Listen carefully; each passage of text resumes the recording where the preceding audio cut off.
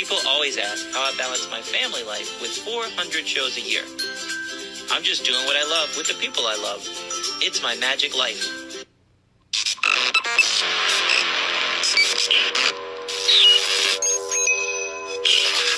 I like Wes Iseli. I like everything about him. All right, on today's episode, we have a real estate mogul, a financial advisor, a public speaker, and an all around great guy. It's Peter Wagner. What's up, buddy? How are you? I'm doing wonderful. I'm wonderful. Well, welcome to everybody to my seminar on the seven building blocks of success. I'm going to talk a little bit about uh, my my history with uh, with growing up and uh, learning about how to do things in a little bit different way than most people will do. I assume all of us are looking for some of the basics in life: uh, a good place to live, a uh, a good income to work with, and uh, money for children's education. That All these things sounds easy enough. That sounds. important. Go ahead. Go ahead. Sorry. That sounds like what everybody wants. Yeah, man. Yeah, I would I would hope so. Uh, when I was uh, when I was young, I was a, uh, a member of the Palmolive Soap Foundation, and uh, my grandfather went out and uh, used to push carts in Dayton, Ohio, to pick up grease to make soap. My mother, grandmother, uh, actually would, could not stand the smell of the grease, so she went behind his back and put perfume into the soap all of a sudden we had probably the best seller in the marketplace because it was perfumed soap. And uh, for 15 years, he uh, made a whole lot of money. Wow. He had uh, 13 sons and daughters, and every year he used to give them a brand new vehicle, which was Model T back then, Whoa. and uh, put them in school. But when they turned 18, he kicked them out of the house and said, "You know the you know the tools. You have you have the ideas of how to make money. It's up to you from now on." And in retrospect, that was probably the best thing that uh, he ever did for us. Every one of them made plenty of money and had a great time. So when I was growing up, I got a chance to uh, be in the same kind of a background. But my parents already had made their money, so uh, they were uh, they were making all kinds of rules to me, which I didn't like back in the in the uh, seventies, on how to spend my money, where, what to do in school, what kind of uh, education I should get. And at 15, I decided to leave. I went into the um, world of back and then peace and love, and uh, I started uh, making leather belts. We found a special way to make the belts with a, a, a kind of leather that wasn't used before. We uh, started making purses, dresses, and so forth, and uh, we weren't selling them. We had uh, all this stack of leather that was out there, and I just went out to one of the big stores in town called Macy's. You probably all heard of it. I went and showed some of my stuff to them, and we had a thirty thousand dollar order. And this is back in 1972 when that was like a million dollars. So we spent the next three years doing this leather business, and I just had a ball doing it, and everybody loved what I made. So uh, it was a, it was a great time to to grow up in. Uh, you know, there was all kinds of changes of attitudes, and and uh, my my parents could not believe that I was making that much money off of hanging around in blue jeans and ragged pants. So uh, we had a we had a great time doing this. Uh, we decided that uh, when we started hearing about San Francisco, that we should uh, get in the Volkswagen bus, my uh, my wife and I, and drive out to San Francisco.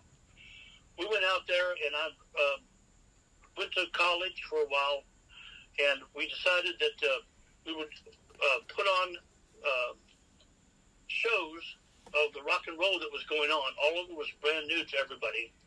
So people like uh, Jefferson Starship, uh, oh Paul Simon, a bunch of bunch of different people uh, in the rock and roll world uh, lived in San Francisco. Uh, Carlos Santana, just a bunch of them. So we were able to do this for a little money, and everybody, you know, all the free concerts that were going on back then. We had a great time. We actually made a little money doing that. But at that time, I became 18 years old, and I decided I needed to do something serious. God help me. Uh, we uh, we went out looking for jobs, and I got an interview with uh, a company called Mutual of New York. Uh, uh, they were going to give me fifteen hundred dollars a month, which is a whole lot of money back then. And I went to work for them, and I found that I had a knack for selling. I enjoyed talking with people. I enjoyed being with people. I was an extrovert, and we just went to making a lot of money at Mutual of New York. I did uh, financial planning for corporations, and luckily, my parents gave me a strong mathematic and uh, uh, business background, watching them work when I was a kid. So while I was doing this, I was making a lot of money, but in San Francisco, I lived in a small little house, 800 square feet, and the price was phenomenal. And I really wanted to do something else because all I was doing was keeping up with everybody else in the neighborhood by uh, just making my mortgage payment and paying my uh, car payment. All right, so you said phenomenal or astronomical? San Francisco. Was, uh, Four hundred thousand for an eight hundred square foot home was pretty much astronomical. Yeah, it's no better nowadays. I hear. Yeah. yeah. Well, it's you know it's, it's it's it's had its ups and downs, but still that house that I used to own is now worth a million dollars. Wow. And I live in it. Too small. yeah. Right. Anyway, anyway, uh, to to just kind of pass through this, how I got into real estate. I uh, started listening to uh, people in back in the late seventies and early eighties doing seminars on how to buy houses. And they were saying things that you, you just wouldn't believe. How to buy houses, no money down, how to uh, make a million dollars in real estate in less than 16 months. And all these things were done by the, the, the kingpins of the time Robert Allen, Harold Harrelson, Paul Simon, Dave Del Dotto. They were all uh, great speakers. I went to a seminar in Tahoe, and when I heard what they said, and they gave me the math on the on the chalkboard, it made sense to me. And don't ask me why, for some reason it just clicked. I went backstage and I said I wanted to have an interview uh, to uh, to work for them, and I, I, I was astounded to hear that if I was to have a uh, seminar interview, I needed to pay a thousand dollars up front. And you know what? I was just crazy enough to do it and it was the best thing I ever did. Uh, we, uh, in fact, I used to brag about having to pay for my job in every seminar I did from them. For the next seven years, I worked in the seminar business. Uh, we would, t- would go into a city, uh, probably went to about 28 cities, and mostly the western and southern states. And we did seminars about how to buy houses, no money down. And the more I got into it, the better I got at it, of course we used to go to uh, the seminar. I would turn on the telephone, and I would pick uh, ads in the paper of houses for sale in Phoenix, Arizona, uh, Albuquerque, New Mexico, Austin, Texas, Dallas, Texas, Houston, Texas, uh, New Orleans. We went all the way across to Mississippi, Atlanta, Georgia, and then to Florida. And uh, we would, then we, of course, go back again. We would have a weekend seminar and I would uh, bring in a phone with a big speaker, and I would buy homes on the telephone. And everybody was so astounded. I gave the I gave the uh, the offers to anybody in the seminar who wanted to buy one, and I already set up the contract for them, and they went out. Most of them got the houses exactly like I showed. Wow. So it was it was a, it was an amazing time. But anytime that you look at real estate if you find the right market, you'll find the right deal. And we all know that, that prices in whatever area you live in do go up and down, but mostly they go up. And the key is to find the right area, the right time, and the right price. So if you can if you can get your rent equal to your mortgage, then you've got a great market to work in. Dude, I got a buddy of mine. He's uh computer friend of mine, but he's a genius just in a whole bunch of different things. Real estate's one of them. He found out that there was a hospital going into um, a, a, town, and they were going to build it in the next five years. So he he bought a house uh, just a few blocks from where the hospital was being built, and his his property value because doctors wanted to live there, whoever, everybody wanted to live close to the hospital. I think he tripled his house value just because that hospital came in. And And that's that's exactly the way to do it. he didn't he didn't want to live there. He just wanted to buy it for 3 years so he could have that investment. And I was like, "What?" Yeah. he should have bought twenty of them. Yeah. uh, Um, yeah. I, will- I, will, I will tell you that Tesla is, is opening a um, 40,000 square foot factory here in Austin this year. And what he did was he went out and bought every house he could find in the surrounding area. He bought three shopping centers. And now what he's doing is like they did in the old days. They're having to have a community that's all Tesla employees. So he's bought the houses at a certain price. He set them up just like IBM has done to where they can move in without any money down, and he owns the property. Wow. And so at the two, and then they stay two years, they get they get part ownership. They stay five years, they get full ownership. So it's a it's a there's that's one of the ideas that you want to have in your mind about how to make the house work best for you when you buy one. So we did about three hundred thousand miles a year. Uh, I did this for about six years, and uh, I finally moved to a place called Orlando, Florida.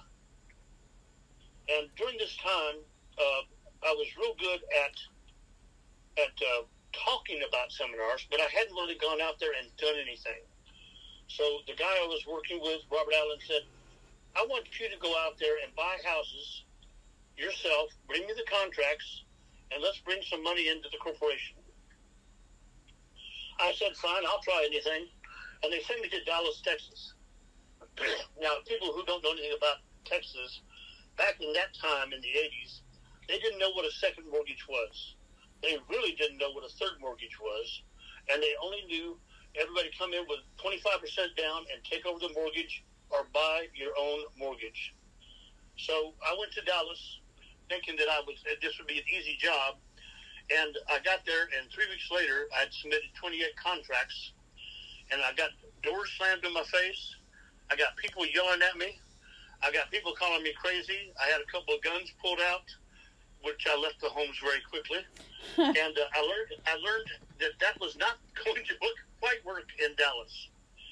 So what I did was I sat down and figured out what it would do if somebody didn't take all their money from a tax situation. Then I did the second smartest thing in my life. I took my wife and made her come with me. And it took all the heat off of knocking on the door being a stranger uh, Ah, because she she looked sweet, she did a good job, and she smiled a lot. So uh, I went to the doors and knocked on them, and I said, "Look, if you don't take all this money, but you carry a second note, it's like passive income. You will make income off of it that is tax free, and you will not have to pay sales tax on selling the house for full price." And it actually started to work, but it took 64 more contracts to get it done. At Wow. any rate, Wow. they had a good time doing this, but then all of a sudden something very unusual happened. I was talking with people about real estate every day. And a guy came up to me and said, You know, I know where there's seven houses that you can buy for $15,000 a house. I said, They must be in the ghetto. He said, No, they're, they're in a good part of Dallas. And I went out to look at them, and I found out right away when I looked at them what it was. The houses were bent in half. Uh, they had the slabs had cracked, the ground was dry around them, and uh, they had they were being sold fifteen thousand by FHA. Nobody wanted to buy them. They'd been up there for a year, and it was funny because I started talking about the problem to people, and a plumber came up and said, "Let me show you what to do." And all of a sudden, the, magician that's just like Wes came out of nowhere with a rubber hose and a, and a spigot, and went out there and drilled 43 holes in each house. He took the spigot and poured water into them, and overnight, within two days, the slabs had gone level again. What? And? I've used that. I've used that one for building houses and buying houses for the last 15 years. It's the best thing I ever learned. I paid him a thousand dollars, and I wish I'd have given him more. Well, Explain to me what happened. What did the he filled it with water and it refixed the slab because it was cracked Well- and dried out? Here, here's basically what it was. The, the grass around the houses was not watered. So in, in uh, Texas, you have shell, uh, shell uh, uh, foundation. Um, what do you call it? Shell rock underneath you. Okay. And and so what happens is if it dries out, the shell shifts. So when they shift, the house would crack, and once once you've got the foundation gone, then the roof goes. Once the roof goes, everything deteriorates. So we found that in putting water back underneath it, it floated the ground back up to level. The next thing we had to do was put grass right next to the curb of, of the house, all around the house, and we watered that grass like every day for two weeks. By the time we finished, we, we went up there and sealed the roof. We fixed all the cracks with good paint and uh, and you know uh, paint and cut and paste, and we had houses that we sold for forty five thousand apiece. And that was back in the eighties, but it was the best money I ever made in four weeks. In it was four uh, weeks. it was tough. It was hard work in the in the Texas sun, but I I learned something about it. Uh, and the one thing that I got to tell you, the rule that I say for the first step of building blocks for success is remember that only restriction that you have on real estate is the use of your imagination. Yeah. I, I, I, it's, that was beyond my imagination. I wouldn't have been able to come up with that one. I don't care if the house was fifty bucks. If it was crooked and falling apart, Natalie wouldn't let me What buy I used to do is I used to go to, to cracked homes, cracked the foundations, and I, I used to make bets with the real estate agents. And they'd end up losing their commission over me because it always worked. And when you think about it, as long as you have a, a, a good, strong ground underneath that doesn't move or dry up, the slab will hold the house and the weight of the house. So, with their mortgage, are they told that they need to water their house often? Nobody knows this, and and you see it all the time in in uh, Houston, Dallas, Austin. You see houses cracked all the time. In uh, in New Mexico, you see them all the time. In Arizona, it's it's dry to begin with, so they don't they use cinder block, which probably is the reason why they don't crack. But uh, when you go to Florida, you have what they call floating foundations, because the uh, because of the the mud and the sinkholes. So you've got different things you have to do. Every every state has a different thing that causes houses to deteriorate. If you find that, sometimes the best deals that you can find is going where nobody else wants to go. Hmm. Wow. I wonder what does it in Virginia. Uh, in Virginia, you know, I tell you what, call me up next week and I'll come on down. Okay. Sounds good. Uh, it, it's uh, I have I have uh, done three loans in Virginia for friends of mine who are in the military, and uh, we found that uh, that you there's there's always a way that you can get around the problems if you understand what the problem is. We had a problem with uh, with uh, some kind of mold or something they had there, and we found that Clorox got rid of the mold, which I'd never heard of before until somebody somebody I went on Google and I looked for Google about how to get rid of mold. And sure enough, one guy who'd been around 20 years as a painter said use this combination of, of uh, Clorox and uh, and some uh, I don't know what I forget what the other part was, but it got rid of the mold 100 percent.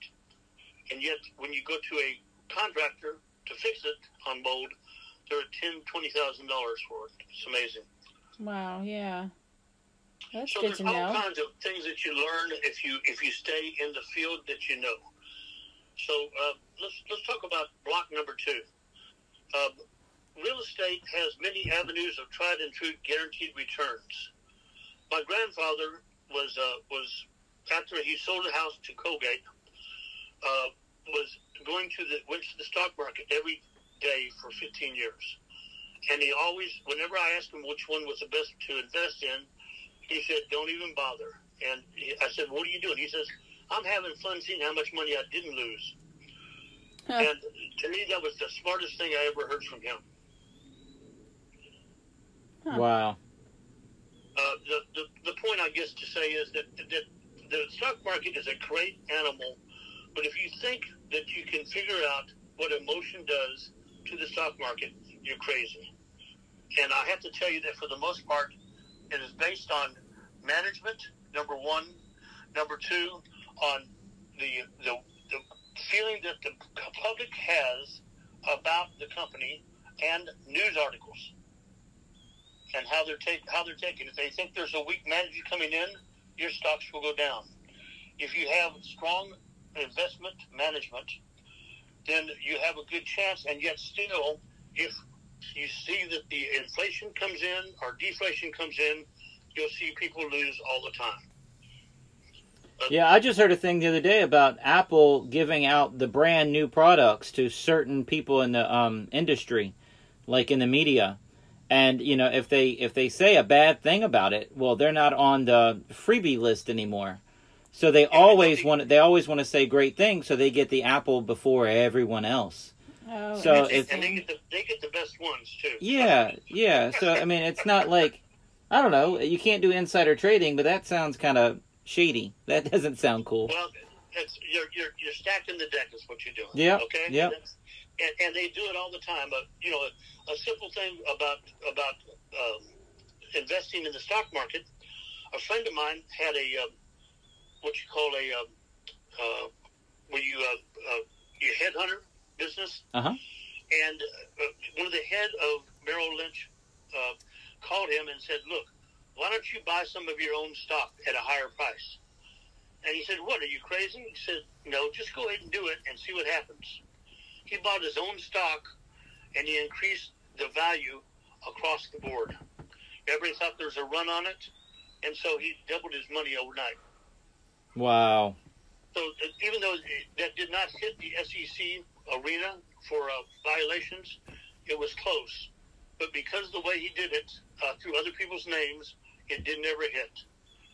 So all of that is a great thing if you're really familiar with the marketplace, but do not work in an area of investment that you do not know. I have to, I have to tell you, real simple. Uh, every time I've ever gotten in trouble is when I tried something that I didn't understand. And real estate, the nice thing about it is it's real simple. You buy a house, you find somebody to rent it out, or you live in it yourself. You wait for the price of a pair of tennis shoes to go up, which means your house value will go up, and you sell it at a profit. And for all the ups and downs we've had in the real estate market through the 70s, 80s, and 90s, it always rebounds. You can't say that about stock. You can't say that about bitcoins. You can't say that about pyramid schemes. And uh, so you guess I'm kind of, I have to tell you, I'm kind of sold on real estate, obviously. No, well, I mean, if that's how you make, I'm I'm sold on magic. If that's how you make your money, man. Yeah, I mean that's Yeah. yeah. So let's go on to block. Let's go on here to block two. Uh, I hope, hopefully, I can get all this in before the hour's out. Hey, we're at 22 minutes already, so uh, All right. Well, that's. I'll, I'll move a little faster. yeah, you're good. You're good. Whatever the, the, the second block for building success is whatever investment vehicle you use, don't get involved in overnight sensations, was which I just basically said. Uh, no matter what, always make sure there is a real value and a historic value in what you buy. Okay? Yeah. the, the main the main thing is, is that real estate has at least eleven different avenues to invest in. All of them are based on real estate. Fannie Mae bonds are done based on real estate that are sold in the stock market. You can buy those because you are, have houses as the value of investment, as their, their equity. Okay. That's a, that's that's a one way to do it. You can buy notes, second mortgages, third mortgages on a house at a superior discount. When people need money and they have a big note, I've gone down to buying them at thirty cents on the dollar, thirty-five cents on the dollar. You can take that, hold it for six months, make sure that the payments are being made on time, and all of a sudden you have an asset you can sell at eighty percent of value. I've done about 115 of those and always made money on them.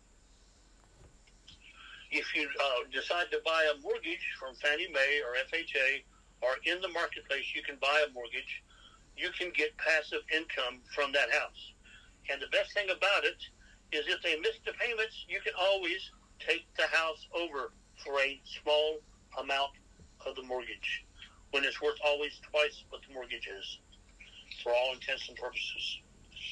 There's a thing called contract for deed.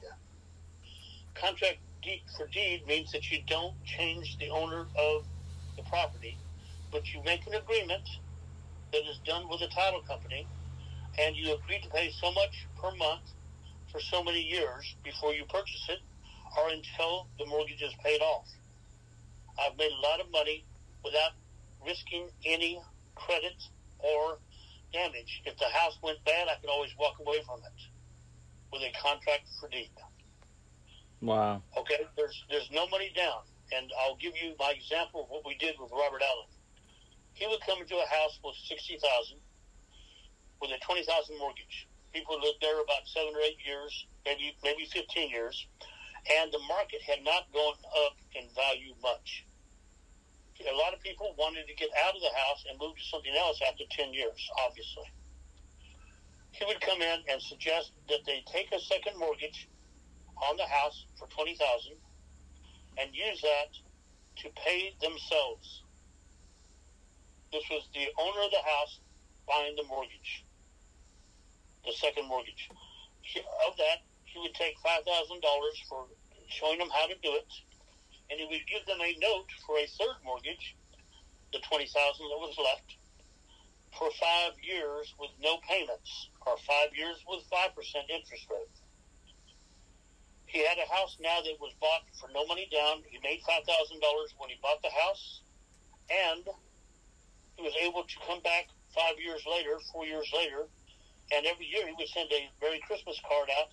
Do you want to sell your note at a discount? So he would find many times people would take a discount on the third mortgage he made on the house for ten thousand, fifteen thousand instead of twenty. Wow. and that was without any risk of the purchaser's credit or having to qualify. So there are other ways. There are several other ways to do it. I'll try to go through this fast. If we, if anybody to this seminar wants to find out more about these properties and the way we do them, I'm going to give uh, at the end of the seminar my email address. You're welcome to uh, to do it. I won't charge anything to uh, to just give you some answers and get you welcomed into the world of real estate. The next one I'm going to say that is very, very exciting is called conversion of real estate. Okay? For instance, you can take three three houses that are right next to each other. As long as you build, if you own all three properties, you can build in between each of the houses and turn it into a small apartment complex. You can take apartments and turn them into condos or townhomes.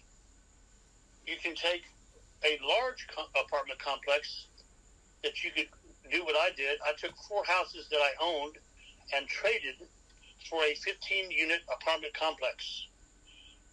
I then uh, divided it into half, sold half, and kept the other for an investment, which was a lower price and sold within five days because the, of the price and the income from the apartments. So there's just the only thing again that you have limiting you is, is what you don't think of.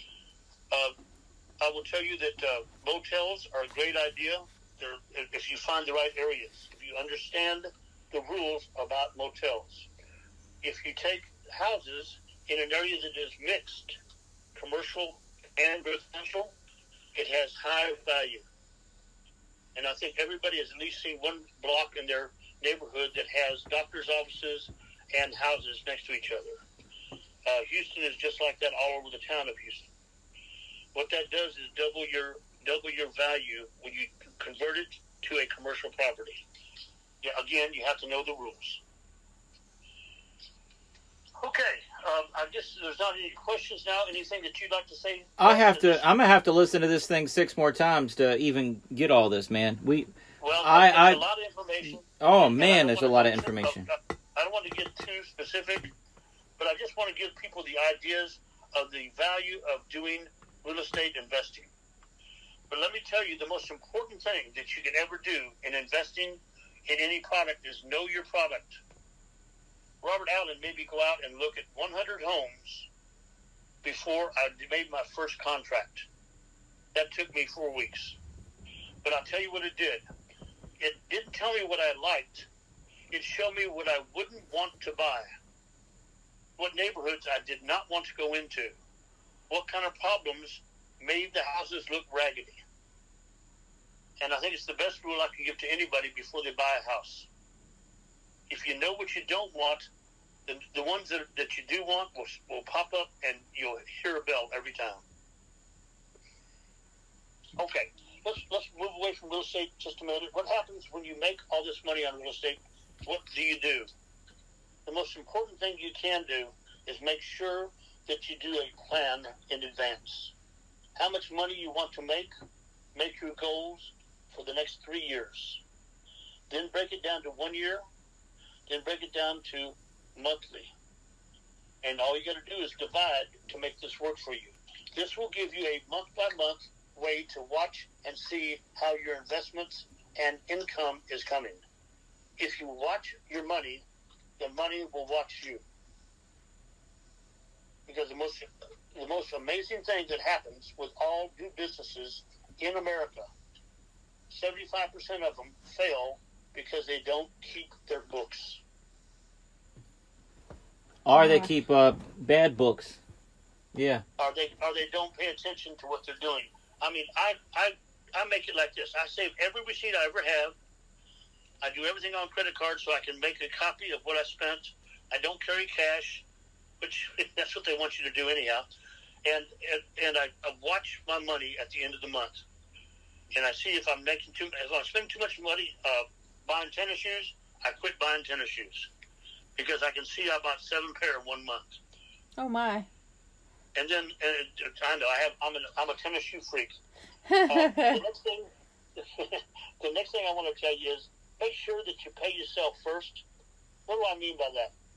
Let me just say America has less than 25% savings per capita in the entire United States. Less than 25% of all Americans save money. And the second thing is you always spend what you make. That's America. I'm sorry. That is that is most countries in this world we know. In Japan, they have a 90% tax law, Oh, and they still send, they still save more money than any American I know. They open up restaurants. They, they they live five people to a house, whatever it takes, but they always have money. Wow. The way you can do this very simply. Very, this is the most important thing I can say about this. Get two accounts set up. Have your paycheck put into one, and start at ten percent, and ask your banker to set it up so the second account draws every month automatically on the 25th or whatever's good for you, 10% out without anything more than a simple um, transfer. And they do it automatically. If you don't see the money, you won't spend it. But is that a is that a set amount? I mean, as an entertainer, I might make you know So if you make if you if you if you put in there, I might have a good month and I might have a slow month. Would it take out the same each month, or would it be ten percent of my total? do your averages. Okay. Do your average. If your average is two thousand dollars a month, put put ten percent, which is how much? 200. two hundred into that other account. If you fall short, let me tell you something interesting. Don't you always manage, no matter what, to pay your bills? You know what? We just got through. Uh, well, we're not through it, but 2020, man. I don't know how it happened. I have no idea how we got through it.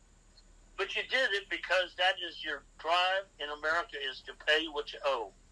Okay? Yeah. Mhm. Somehow, I've got, I went out and got three jobs before to pay my bills and did not stop my sa- savings program.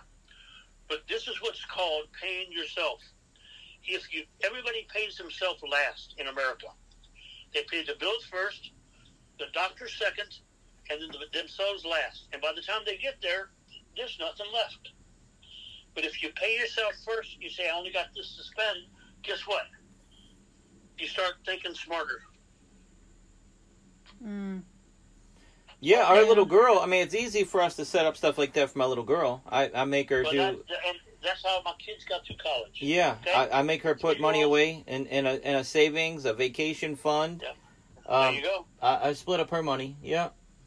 And, and, and what you do is you, you go ahead and do a regular savings, and you and you do that religiously, but you never look at the money you put in here until you get ready to take a kid to college, and then you better have it. Yeah. I got three coming in twenty years. There you go. So you know exactly what I'm talking about. All right. So the next thing I want to go over these quickly because I don't want to run out of time. We have many ways to protect your assets. It's the most important thing that you can do once you own something. I have a rule. I don't own anything in my name. Why? Because I had an audit one year for three hundred thousand with the IRS. That was, but I luckily was ready for it. They tried for six years to get money from me. They did not know where my assets were. There are, there are the following things available to you for protection. You have to work them, but you have to understand them too. You can look them up on Google. The first one is a 501c3 trust. This is a non taxable company. You have to have reasons to set it up, but it's all easy to go over. I'll be glad to give anybody the information they need. This is set up to where you do not pay taxes on the money you make. You can take out $1,500 stipend, which is for research and development, without being taxed. You can pay for your bills without being taxed. Corporations do this not quite as well, but a, a, a full corporation pays your bills as part of your agreement with the corporation. Limited partnerships splits the risk up. You can do a partner with another guy, but be careful of partnerships. Know your person you're dealing with. And the best thing I can, the best one I can tell you is it's a little complicated, but it's called three flag theory. As long as you're removed from your vehicle of, of, of value three times, nobody can find who the owner is. And again, I'll be glad to go over that in uh, in line with people who are now owning property or that want to find out more about it. It basically means you, remove yourself three times from the actual investment, and you still have 100% ability to control the investment. That's like you're talking a whole other language. How do I remove myself from my investment but still have ownership? A corporation is in the corporation name; it's not your name. Okay, okay. A 501c3 trust is owned by you, but maybe you don't show that you own it. You're just the trustee. You have the right to sell, buy, reduce, rent, or whatever for the trust, but the trust owns it. Gotcha, gotcha. Okay. Does that make any sense? Yep, yep, That's yep. Removing yourself. When, when, when they looked at my trust and saw that my great grandchildren, who aren't even born yet, were the recipients of my assets, they could not touch it. And uh, they went through uh, three years of trying to get them. Could not touch it. Wow. Never own anything that you own in your personal name. Okay. Never show the and, and here's rule four: never show the world what you got. If they can't see it, they can't take it away. And I tell you that many times I've been sued because people knew I owned property. They tried to find my assets and they got really frustrated. Yeah. I mean, Uh, millionaires, billionaires get hit every single day because they know they have it. And let me tell you something. John Connally was, was who was with President Kennedy when he died, had forty-one million dollars worth of a bankruptcy, but he didn't mention the five trusts he had worth sixty-one million. They were all given to his kids before he ever filed bankruptcy. That's just a, that's a crazy uh, number there, but it's actually a fact. All right, so let's just now let's move forward on this. Any, do you have any other questions that you can think of, Wes? No, I, no I'm trying. I'm trying to take it all in. I know I'm gonna have to re-listen to this just to get some stuff and Yeah. ask you questions Well, later. We got should- 20 minutes of the podcast left. You go for it. All right. All right. So let's continue on. There are there are at least fifteen different ways to invest in real estate. I'm just going to name them, and we can go back to them later. Duplexes, single family homes, mortgage notes, partnerships with other people, property sales tax. You can buy strips of land and sell them to the owners next door to them or make them fight over it. Uh, that's you'd be amazed how many strips of land are in between houses that are owned by the city, and they they auction them off all the time. You can convert a home from from a regular residential home to commercial. There's three simple steps, but I'll, again we can go into those later. You can buy apartments, like I said earlier, by combining homes and trading equity. There's a thing called equity transfer. We'll talk about that another time you can convert a single family home if you have a large enough lot into a duplex because you use the same plumbing, the same electricity. You just have to crank up the, the voltage on the electricity, and all the same all the same trash and everything else. All right, if you have a house with a garage, why not build a second story on there and get uh, two apartments out of it? Then you can go uh, what, I, what I talked about earlier about converting apartments to condos or townhouses. You can double your money when you do the conversion. It's a little bit lengthy, but it is well worth the money. All right, and then what you do is you can convert a apartment to three separate complexes, and then sell them for more money for each one than you did if you sold it as a whole. Okay. All right, I'm with you. I'm fo- right.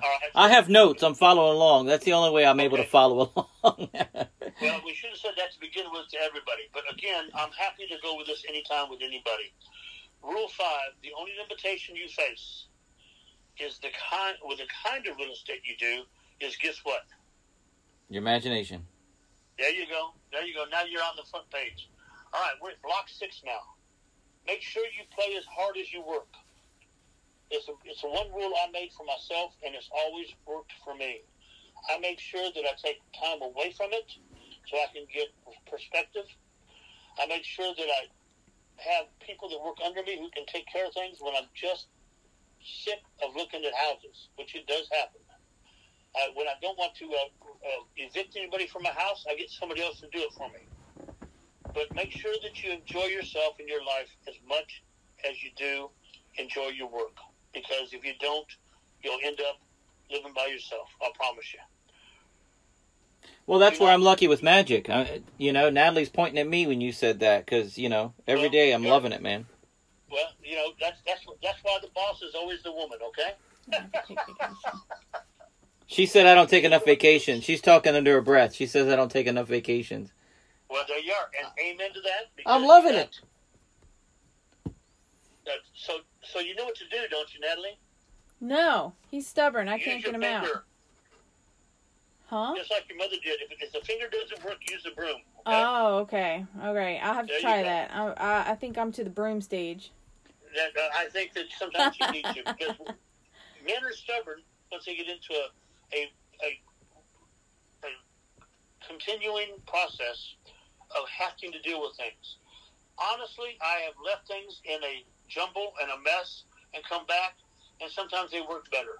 Uh, unbelievable, but if you have people that work with you, then sometimes they take it on instead of you taking it all on. Know what I mean? Yeah. And it's just Yeah. a matter of learning to use your ability to direct other people to do what you don't want to do. All right? There's all kinds of ways to rent homes that I haven't even talked about. I'll just mention them. Lease options are better than renting. Why? They think it's theirs, they take good better care of it, and sometimes only 20 to 25% ever actually do the option to buy a renter is a renter is a renter in a lot of world, okay? Yeah. In a lot of different situations. Uh, you take better care of the homes with an equity share program. You can suggest that you'll give them 20% the first year, 30% the second, whatever. If they keep the house up and don't bother you, and you always make the rent on time. If they miss the rent, they lose percentage. It's a great uh, uh, property manager without you having to be there. That's what I call passive management. Mm. Okay? Make sure that you keep your perspective and humor throughout this entire process because if you can't laugh at yourself, you can't laugh at anybody. Yep, that's true. Okay. Rule six. This is uh, with block six. Never hold on to a home too long unless it's for the 25% that you're going to own free and clear. Let me say this another way. Keep a percentage of your property that you that it has good rent, that is a good shape, that is in a high income producing area, and pay off the mortgages with your profits. But I tell you what I did. I went to Florida and I bought so many homes I didn't know what to do, so I kept buying more. I got up to 143 homes, and all I did was live real estate. All I can tell you is I did not do anything good the last two years I was there. And I ended up selling some of the houses for free just to get them out of from the responsibility of them.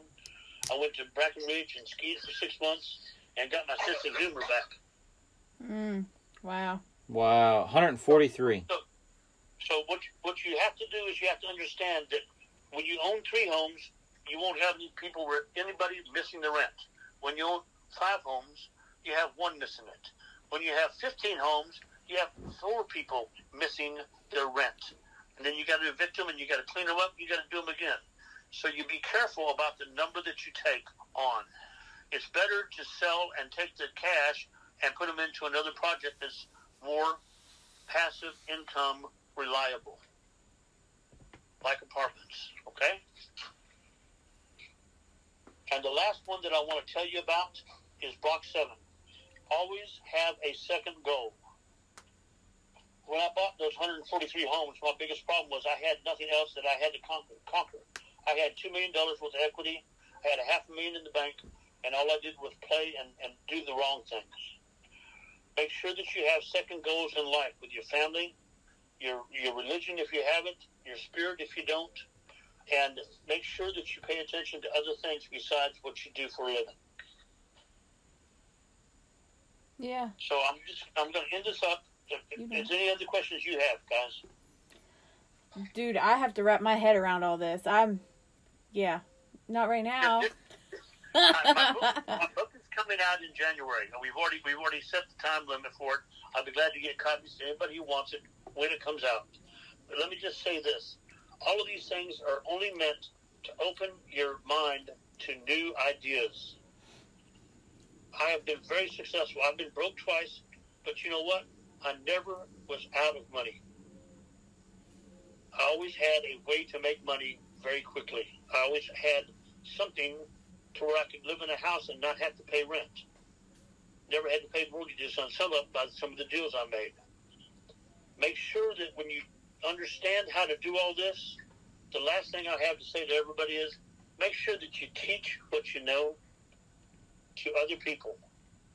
It is the most gratifying thing that you can do in this world is to have people make more money than you. My martial arts t- teacher once told me, I don't want you to, to kick me as good as I kick you. I want you to do better. If you can't do better, you're not winning. And when, when I started to, to learn how to hit them harder, he said, now go out and teach. You know how to do it. And it really helped me with a lot of people in the, in the community that were having problems with their life. There's other things that I can say to you. Uh, I would spend another two hours at this, but uh, what I want to say is this: this is stage one, and these things will come back to you as you think about them. Write them down as much as you can, and make sure that you get down my email. My email address is Pete 2000 Wagner at gmail.com. So Pete Pete Wagner, Pete Wagner at Gmail. No, Pete two thousand Pete. Wagner. 2000 Wagner at gmail.com. Perfect. All right. And my last rule, rule seven, the joy of life comes from good works and simple kindness. And a really strong sense of humor. Because you got to learn to laugh at yourself throughout this process because it will happen to you. And don't ever forget Murphy's Law. And all that means to anybody out there is make sure you have another plan just in case. Just like a good game of chess, always have an alternative in mind. Pete, I'm I'm overwhelmed, man. Uh, This that- was- that- this- that- that's, probably, probably good. Probably what I'll do next time is just take it a little bit slower. But let me just say that that this is the kind of thing that will change people's lives. And I've really enjoyed talking to everyone out there. I want to let them know that that good deeds present yourself with abilities to have great things come back at you. And that's what this is all about.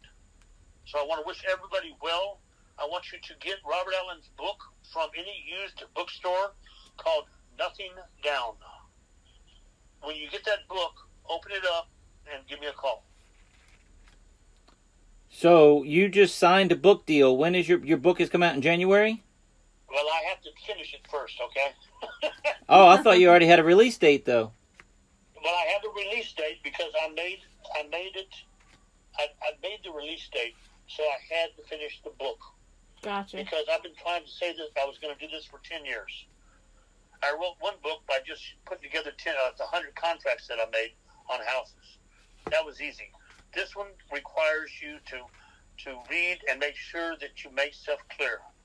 Anything that isn't clear, I'd like to know about simply because it'll help me in writing the book.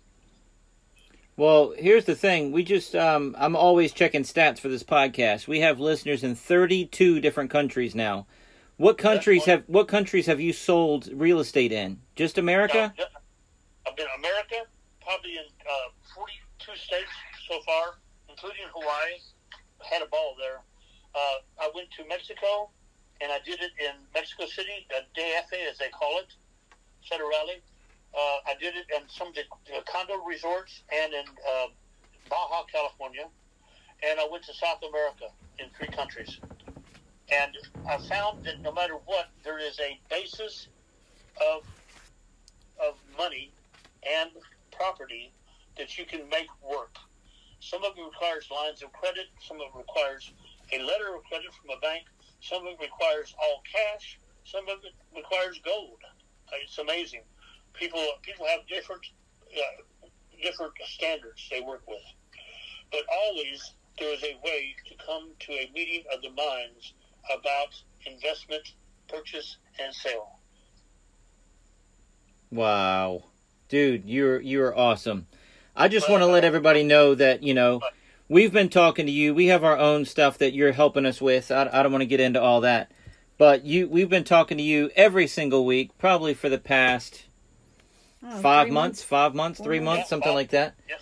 And um, we were referred to you by uh, Tom Julian, the owner of uh, Jewel TV, and um, he gave you glowing recommendations. Told me we had to talk to you, and uh, everything you've told us, everything you've done, you've come through for us, and um, you're awesome, dude. And you know what you're talking about. So uh, thank you for doing our podcast, man. You're awesome. Well, I had fun doing this, and I and I welcome uh, if you have a second need for me to come back anytime to help explain it better. I welcome you to, to call me. Okay. This, Well- is, this is great stuff for everybody to know because in these circumstances, in COVID, you've got to find other ways to make money. The regular ways don't, just don't work as well. We've become a lower class because we cannot make the money we used to make. Well, and all of my entertainer friends, I mean, they won't let you work. So you got to do something. Yeah, you better do something. Yeah. Exactly right. Yeah. And and remember, remember, imagination is what it's all about. I love it. I love it. All right. You were awesome, Pete. Hey, stay on the line, man. We're gonna. I'm gonna do a couple plugs and uh, stay on the line, and um, uh, we'll wrap everything up. All right. Thank you, sir. All right. So, guys, that was uh, Peter Wagner, and um, check him out. What was it, Natalie? Pete two thousand Uh huh. Wagner at gmail.com. Yep. Uh, send him your questions, guys. If you have real estate questions or um, business questions, send them to him. He'd be happy to help you. And um, we are so happy to announce that our new show merch is now available at wesiseli.com. That's logo t shirts, my Magic TV podcast t shirts, Magic Man hats, stickers, playing cards, and more. Check it out at wesiseli.com. And season two of Wes Iseli's Magic Life is over, but you can still binge watch all the episodes of season one and two on Jewel TV. Jewel TV is on Roku, Amazon Fire, Apple TV, the Jewel TV, Jewel TV app, and tons of other places. It's in over 100 million households. All you have to do is look for it. See, you next week. Today's episode of the podcast is sponsored by Express Copy and Graphics. Mention promo code Wes Iseli to get 10% off. Their website is expresscopy.com.